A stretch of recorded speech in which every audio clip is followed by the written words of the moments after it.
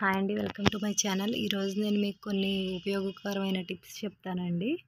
మోకాళ్ళ నొప్పులు కనుక ఎక్కువగా ఉంటే ఒక నాలుగైదు ఖర్జూరాలు తిని వెంటనే వేడి నీరు కనుక తాగినట్లయితే మోకాళ్ళ నొప్పులు అనేవి పోతాయండి. రెండవ టిప్ అండి.